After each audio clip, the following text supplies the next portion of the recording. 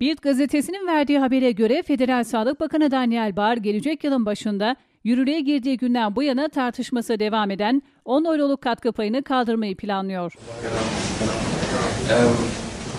Barr bunun yerine muayene başına 5 euro alınmasının yasal zemin hakkındaki incelemeleri başlattı. İstatistiklere göre Avrupa Birliği'nde ortalama muayene sayısında ilk sırada yer alan Almanya'da her sigortalı yılda 18 kez doktora gidiyor ve bu da sağlık sigortalarının masraflarını aşırı arttırıyor. FDP'nin sağlık politikaları sözcüsü Lars Lindemann yaptığı açıklamada halen uygulanan katkı payının herhangi bir etkisi olmadı. Alternatif arayışımız sürüyor diye konuştu. CSU Sağlık Politikaları Sözcüsü Johannes Zinghame ise muayene sayısını azaltması için getirilen ödeme beklenen etkiyi sağlamadı. Koalisyon sözleşmesinde de yer aldığı üzere daha az bürokratik bir çözüm bulup bulmayacağımıza bakacağız ifadelerini kullandı.